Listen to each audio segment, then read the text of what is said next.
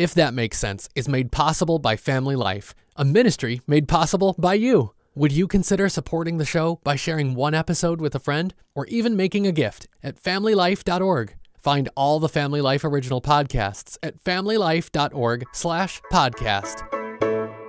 If I believe that God is my dad who wants to take care of me and knows what is best for me, and I'm drawn to something that he says isn't the best way Right. for me to live life, I have to believe that God as my as my loving dad wants to keep me safe.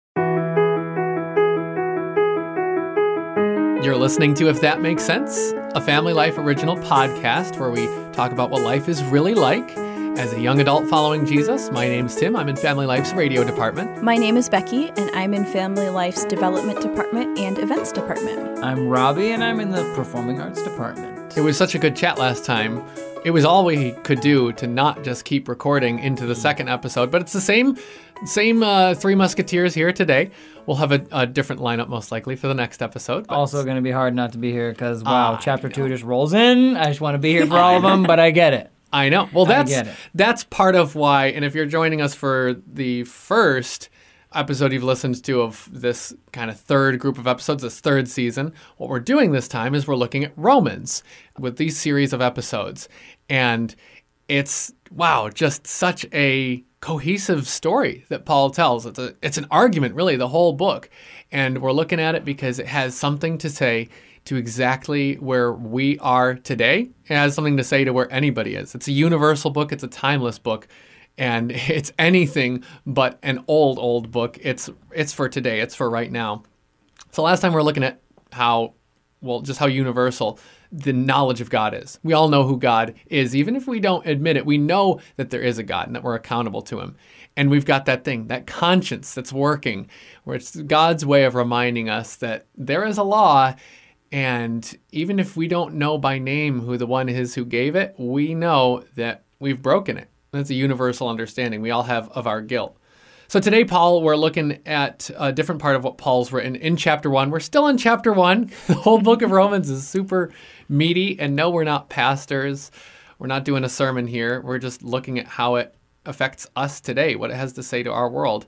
Would you like Becky to read uh, chapter 1, verses 24 to 32 to start us off? Sure. Therefore, God gave them up in the lust of their eyes to impurity, to the dishonoring of their bodies among themselves, because they changed the truth about God for a lie, and worshipped and served the creature rather than the Creator, who is blessed forever. Amen. For this reason, God gave them up to dishonorable passions. For their women exchanged natural relations for those that are contrary to nature, and the men likewise gave up natural relations with women and were consumed with passion for one another. Men committed shameless acts with men, and receiving in themselves the due penalty for their error. And since they did not see fit to acknowledge God, God gave them up to debased minds to do what ought not to be done. They were filled with all manner of unrighteousness, evil, covetousness, malice. They are full of envy, murder, strife, deceit, maliceness. They are gossips, slanderers, haters of God, insolent, haughty, boastful, inventors of evil, disobedient to parents, foolish, faithless, heartless, ruthless. Though they know God's righteous decree that those who practice such things deserve to die, they do not only do them, but they give approval to those who practice them. Well, there's a lot there Paul has to say. Uh, certainly talk, a fun list there at the end. Hmm. Mm-hmm. Mm-hmm. Mm-hmm. Yeah, yeah. So I would love to just jump in here. So this passage for a long time was was troubling to me. Hmm. And the reason it was troubling to me was because I believe that same-sex temptation is a temptation. Uh, like any other temptation, something that you know you shouldn't do, and yet it's somehow appealing to you, interesting to you, whatever. And Yeah. and I just feel like this is an issue that the church likes to scoot around or just not really talk about, or well, it's this. If you're choosing to act out this way, it is you know condemnation. It's wrong, and clearly, okay. Well, we can see here that the act is wrong. Yeah. But I would like to speak to the same sex tempted Christian because I believe that that is a thing, just Yeah. like any temptation. And I like to use the word temptation even more than uh, attraction. I feel like same sex temptation. Uh, to me, seems more biblical even than to say same-sex uh, attraction because it, it, I believe, is a temptation. So I used to read this and think, well, this isn't this isn't very fair because it's sort of saying God was like, well, I guess I guess I'll just give up on you, just do whatever you want, and almost making it sound like it was God's fault in a way. Like, wait a minute, this he just gave them over. That's not fair. What about people that are like, I don't want to feel these confusing things. Why would you give me over to them? I and what I realized about this passage is that you have to back up the train, and it's all about the context. And when mm. you keep backing up the train, you realize something. And so you start with, so God abandoned them, is, is my New Living Translation, verse 24. It's like, wait a minute, wait a minute. There's that little word, so God abandoned. Well, why is that there? Well, you back up the truck again. And that's what we were talking about last week. Yes, they knew God, but they wouldn't worship him as God or even give him thanks. Okay, well, well, then you back up. Well, what about verse 18? God shows his anger from the heavens against all sinful, wicked people. And so you just keep backing up the, Yeah. the train, backing up the truck. And so when you get down to that spot where it's so God abandoned them to do whatever shameful things their hearts desired, as a result, they did vile and degrading things with each other's bodies. Um, well, well, why is it that he's abandoning them or giving up on them or do whatever you want? Fine, you want it? You want the lollipop because you're screaming and crying? Take the lollipop, you know, whatever. And when you back up the truck, it's because they knew God, but they wouldn't worship Him as hmm. God. Yeah. And I feel like that's really important. Is where do you stick God in the equation? Mm-hmm. Because if you're dealing with whatever, whatever it is, whatever sin, whatever temptation, I think you have to say, okay, where does what's my view of God? If I believe that God is my dad who wants to take care of me and knows what is best for me, and I'm drawn to something that he says isn't the best way Right. for me to live life. I have to believe that God as my as my loving dad wants to keep me safe. The Yeah. father is not going to say, "Sure, you want to go play in the street? That mm-hmm. sounds like fun. Go do it." Right. Your right. child may want to go play in the street, but your father knows you're going to get splattered by a semi. But but I like trucks, says the 3-year-old Right. boy. I know you like trucks. That doesn't mean you can go play in the street. Wow. And Yeah. so this dad who loves his kid is keeping is saying, "I don't want you to go play in the street because I don't want you to get splattered. I know what's best for you." Wow, there's a lot of wisdom in that kind of analogy. And I, I when you put it like that, that's super helpful for me because I think, oh, I can understand that. This other issue is really confusing, but I can understand it when you explain it like that. And of course, the other issue, it's homosexuality. Or you could expand it for the purpose of what Paul's talking about. I think it can have to do with any part of our culture's sexual revolution, really it can be confusing for us today to know how to deal with this. Like we know the Bible has the truth, but it's a it's a difficult topic. So I'm super thankful we can just hide behind the truth of God's word. It's not about what we think about it. It's looking at what, like you said, Robbie, our, our loving Father says about it. Really think it's interesting how you broke down the difference between struggling with same-sex temptation. I, that's interesting you put it that way. I've always, you know, heard people in the church refer to it as same-sex attraction. I think that makes both ways make sense, but I really think it's interesting to use the word temptation. That's not the way the world around us sees it. The world around us makes it if you feel these things, those feelings define you. And boy, there's just there's just a lot there. There's just a lot to to what the Bible has to say about this topic. Yeah, there's definitely a lot to unpack there. And I like the way, Robbie, that you presented it and brought it to light because it reminds me of a conversation I was having with my brother the other day. And we were talking about just different temptations and things that can cause us to stumble in our walk with the Lord. And later on in this verse, it lists a whole bunch of different things that are mm. dishonoring to God. Mm-hmm. And it puts them all on the same level envy, murder, gossip there's not with God there's not a one sin is worse than the other. Mm. They're all in the same. And so my brother and I were talking about that concept and the fact that it seems to us in the Christian culture, in the Christian realm, it's very easy for us to suddenly be like, oh, you deal with same sex attraction. All of a sudden, you're labeled and you're an outcast and you're looked down upon, or oh, you need to repent and go before the church and do this to get over that, or oh, you just need to trust God and that'll go away. And we seem, as a Christian culture, we seem to have taken that and put it in kind of a category of its own. And there's other sins that the church has done that with, but I mean, for now we're talking about homosexuality because it's right here in the scriptures.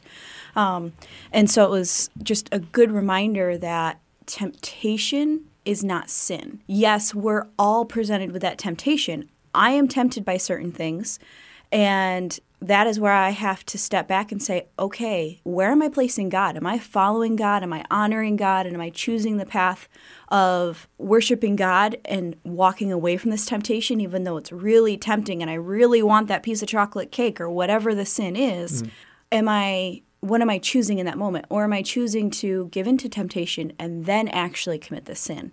Um, and I think that's where it gets hard in the Christian world because I really don't know very many people who would admit that they struggle with same sex attraction. And I wonder if part of that is because of the stigma that is then placed on them.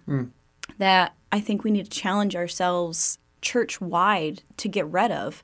But it's also, you know, we all deal with different temptations and sins. So it's also looking at, oh, what am I dealing with? Because in God's eyes, that's on the same playing field. Um, And so I like the way, Robbie, that you painted that of a temptation instead of an attraction because really that's at the root of it. If we're going to address it, we need to address the root problem. And the root problem is temptation. And what am I doing with that? Am I sinning or am I choosing to honor God? I you I think you said it perfectly. I'm glad you jumped in when you did because that's exactly why I was thinking the same thing. You said something about cake, which made me like, oh, I think imagery is really helpful for me and I mm-hmm. think it's helpful for all of us, which is why God is constantly painting pictures for us in scripture like this is like this, this is like this. And so it's like, okay, well, if there is that that cake, that cookie, that thing that you you want to eat it and then what do you do? Do you go and eat it and put it into your mouth and ingest it? And there's the sin if if the analogy is the cookie is you're not supposed to eat that. You eat it. Okay well what's the difference between oh man i want to eat it i see it it's there but whew, i'm going to walk into the other room. You know i'm going to leave that cookie Oh, there. right. you know like i want to eat it because it looks and smells tasty. So is that sin knowing that the cookie looks and tastes delicious? No that's being tempted toward it. Or jesus in the wilderness he Oh. was tempted and and jesus was tempted in every way we are except without sin. That's in the scripture somewhere. I don't know where. You go find it for yourself. But i know it's there. So it's i want that i want to make bread for myself but i know that's wrong. I, i'm tempted to throw myself off the temple. I'm tempted to worship satan because then i could have the kingdom now but i'm not going to actually do it. It's maybe not that he was like is there any way like is there any other way god? Like do i have to go to the cross? Like he was tempted like i wish there was a easier way. He wanted to not have to go to the cross but yet hmm. he went to the cross. So sometimes when you want that whatever it is i'm drawn toward i'm hmm. tempted toward the difference between realizing that temptation is there and saying i'm going to walk away from the cookie or well i want it so i'm going to i'm going to eat it. That difference i think between sin and Yeah. temptation is really important to clarify. Yeah. Martin Luther, pretty sure, said something to the effect of you can't stop birds from flying over your head, mm. but you can keep them from making a nest in your hair. Mm. yep So you can't help it that a temptation might fly by you. You know, you, you can pray that that doesn't happen. It might happen, though. That's not going to be your fault if a temptation flies over your head. But if you let it fly over your head and then when it lands on your head, you say, Oh, it can stay there. I'm not doing. It's not doing any harm. Hmm. Well, it's going to make a, a nest in your hair. it, mm-hmm. it's entertaining thoughts where I think we get into sin, where we let temptation become sin, even if we don't do what the thought is urging us toward. Even just entertaining that thought, letting it stick around in our head any longer than that fleeting moment, that's where we start to get into a sin that we've chosen because we're choosing where our thoughts are. And like Becky said, there's that whole list. It's like this and this and this, and sometimes the little ones that we overlook, you know, pride, envy, whatever. Like, oh, that's not that bad. That's not as bad as lust, you know, or Yeah. whatever. But that there's that whole list of things yeah. there. There's a lot of things that Oh, we man. gloss over that are Absolutely. a big deal. Absolutely. He puts them in the same category as this other list of sins. And it, it just, well, it ought to be humbling to us that this thing Paul's talking about as it's against our nature. He's saying, oh, in the same list, by the way, are things like disobeying your parents.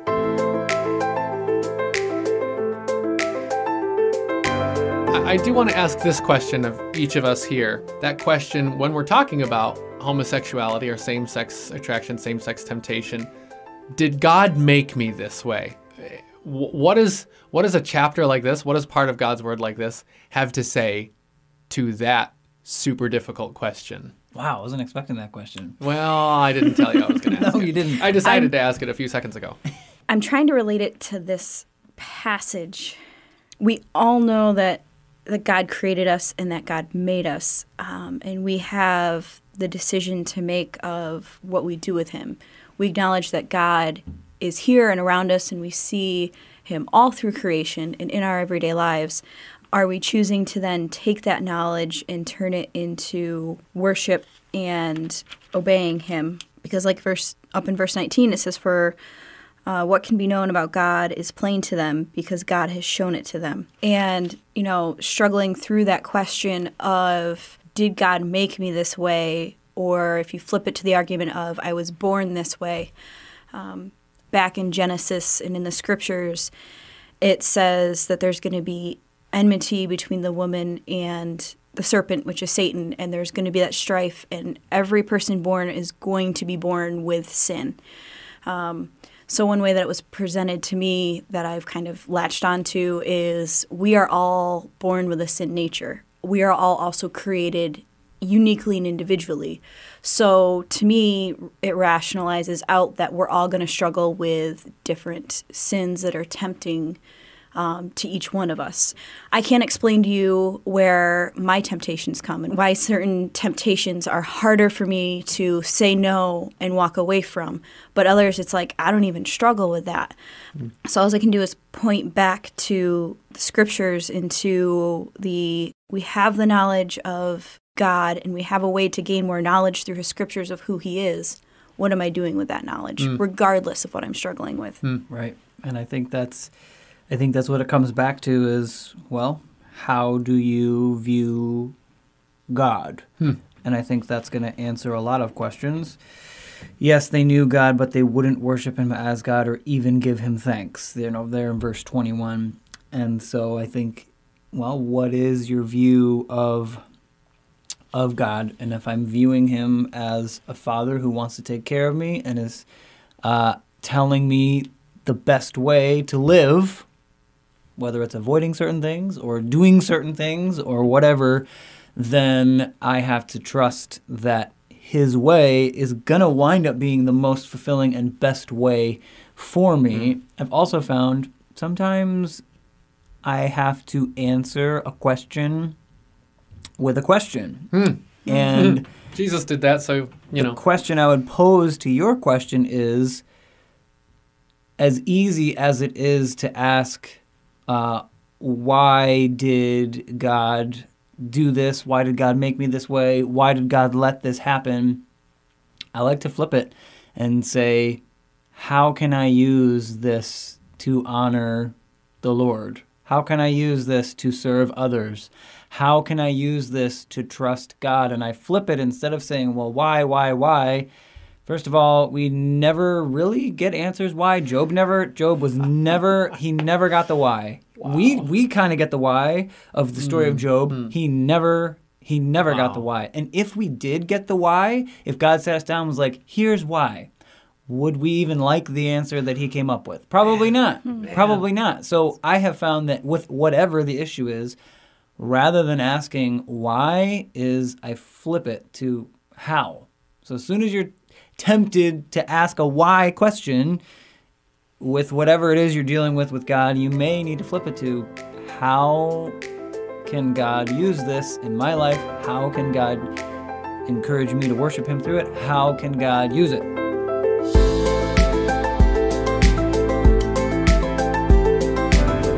You mentioned the birds flying Yeah. love that image too. Where well, the geese are gonna fly, but are you gonna let them stay and build hmm. their nest and have their eggs and hatch their babies? And now all of a sudden, your beautiful pond has geese that you didn't want. Yeah. You know they're gonna fly. You can't stop that, but are you gonna let them build the nest?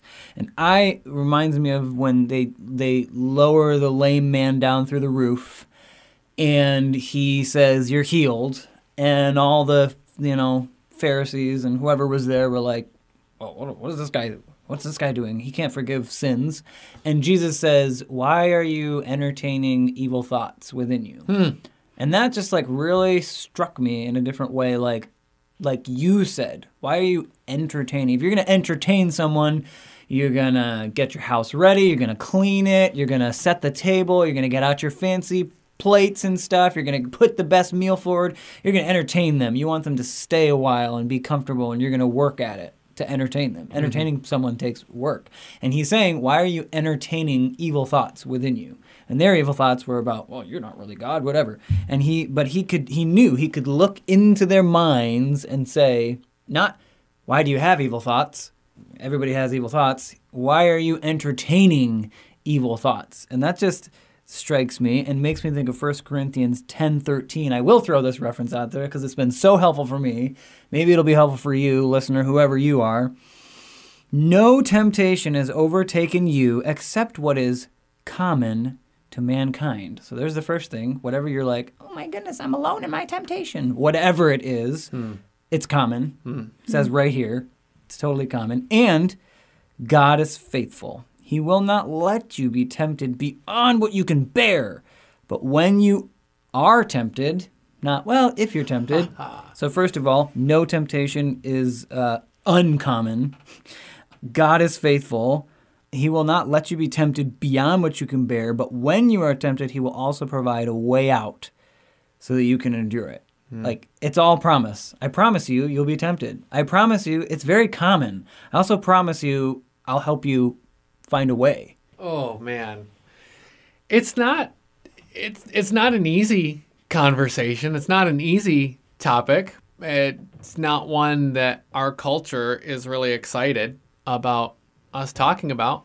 That doesn't mean we get to avoid talking about this though. Specifically here in chapter 1, Paul does talk about homosexuality, but that's not all he talks about because he talks about well just sin in general like disobeying parents and greed and anger and, and all these things.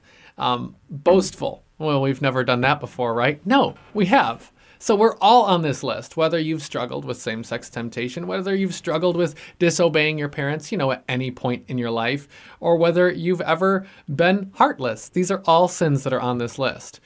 We're all in that place before God. And that's what I think is so cool, again, about the book of Romans. It's totally universal. It puts us all on the same playing field. And as we're going to see in just a few chapters here, it gives us all the same solution because it all points to Jesus. That's why all that's why there's all this bad news because it's got to point to the good news. And in the end, it's telling us, look, the world's broken. You ever wonder why the world's broken? Yeah, it is. It's because like you said, Robbie, take it back to what we worship. And you've talked about it too, Becky. Take it back to what we worship. Following God's way is best. And I just can't wait till we get to that episode when we get to see the solution Paul poses to us. I'm just excited to be on this journey with you all. Get to go through God's word like this. Yeah, and, I, and mm-hmm. I, what I like about it is you are forced to walk through the roads that are like nobody wants to talk about whatever, and it's like, mm-hmm. but it's right here. So we're gonna talk Bible. about it because it's right here. Sorry, folks, it's the Bible we're talking what a about. better starting place than scripture mm. talking about it first and mm-hmm. pointing us to the way to talk about it and to handle it. Yeah. Thank you for joining us for If That Makes Sense, the family life podcast about what life is really like as a young adult following Jesus. If you enjoy the show, please send it to a friend. Your genuine appreciation of the show is the best way for word to get out. And it would make our day if you left us a rating and a review wherever you found this episode. Family Life has more great original podcasts that you can check out at familylife.org slash podcast. Thanks again, and we look forward to having you along for the next one.